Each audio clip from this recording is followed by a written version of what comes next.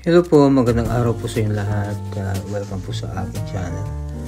At ngayon po ay magluluto po tayo ng ginataang crabs with kalabasa. So make sure lang po panoorin hanggang dulo.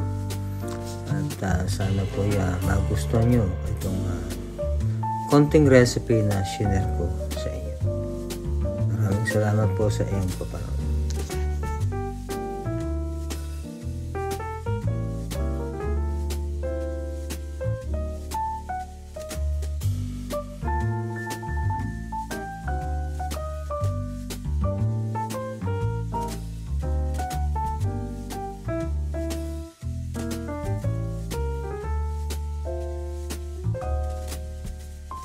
So, yan po ang ating mga ingredients.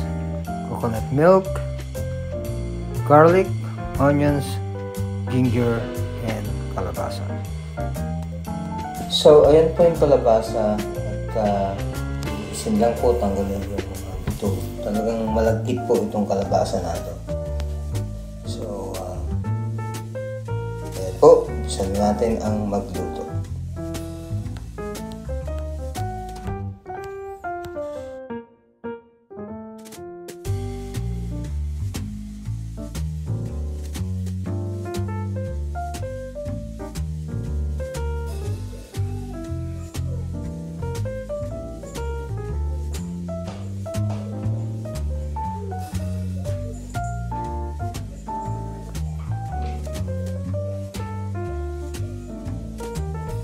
So, ayan na po ay uh, luluto po tayo ng crabs na may gata. So, make sure lang po init yung pan.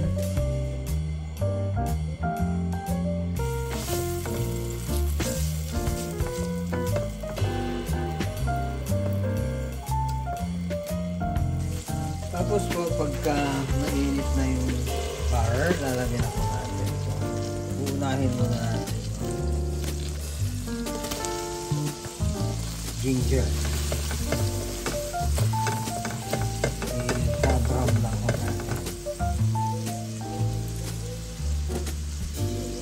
Tapos po ay isusunod natin yung garlic. Brown, brown, light brown po lang yung garlic. Kasi pagka medyo um, toasted ng konti yung garlic, ay mabango-bango.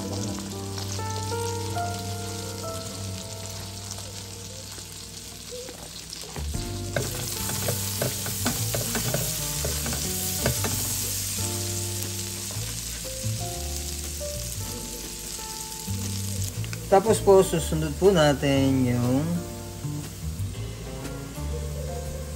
onions. Bali, ito pong onions ay uh, one small bag lang po. Isosotay lang natin hanggang mag-translucent.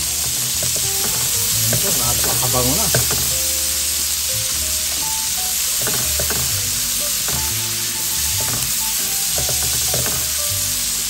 po isusunod na natin yan, sobra na bango na po. Susunod natin itong um, coconut milk. Ito po ay nakalagay 33.8 ounces. So, equivalent to 1.5 quart. Nalagay natin lahat po. Lahat. Kasi masarap po yung sabaw. Iluluto, iluluto po natin yung ito pong uh, milk, coconut milk hanggang mag-caramelize ng konti. So, ayan po.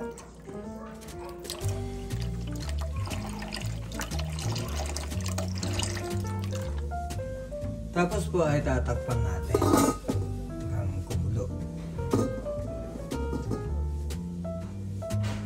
So, ayan po, malalaman po natin na kumukulo na siya dahil itong ano niya, parang pinakaano niya.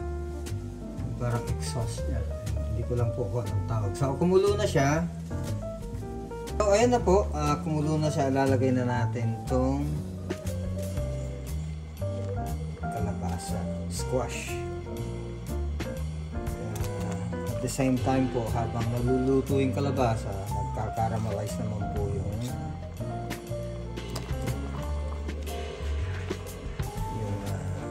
coconut milk. So,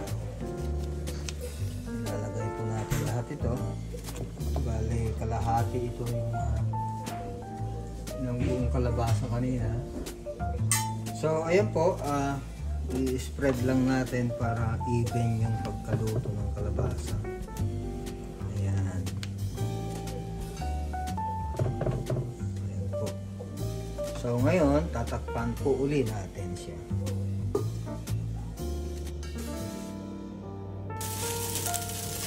So, occasionally po ay uh, titignan-tignan po natin kung uh, halfway na yung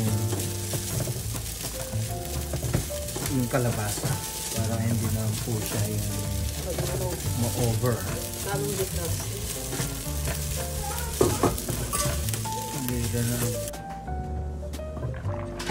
So, ayan na po. ah, halfway na yung uh, naluto yung. So, ilalagay na natin po yung crabs. Ang crabs nga pala ito, eh, kwan ito yung Jimmy's. Ito po yung lalaki. Kaya mas meaty yung Jimmy's.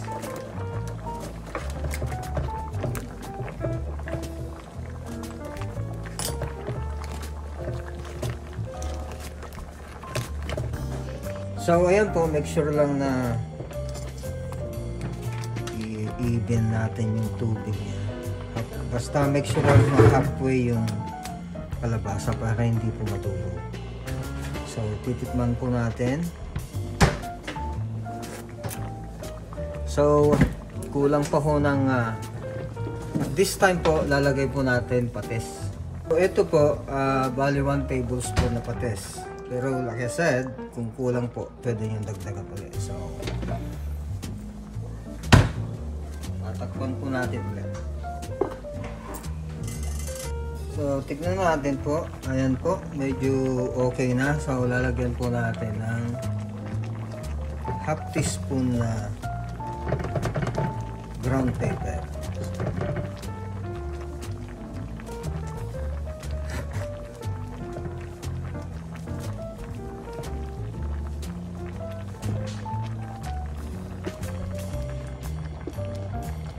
Pan po uli natin. So, after 2 minutes po, ay titignan ulit natin. Ah, okay, lalasahan ko na natin. Ulit.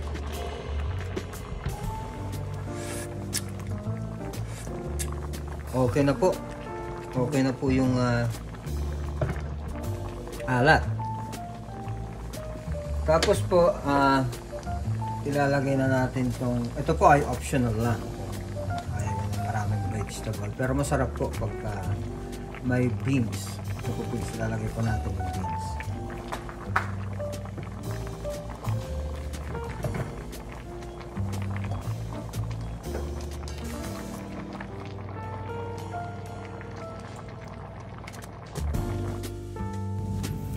So, ayan na po. Ah, babalik-balik pa rin po natin occasionally. Tapos po, ah, make sure lang na maluto yung beans. So, ang tropa ko kasi gustong gusto nila maraming vegetable. So, ayan po, like I said, ko-cover muna natin mga 1 to 2 minutes and then ready na po siya. So, ayan na po. Ah, maraming salamat po sa inyong papanood at sana po ay nagustuhan niyo po itong ah, simpleng crab recipe na shinare ko sa inyo. God bless.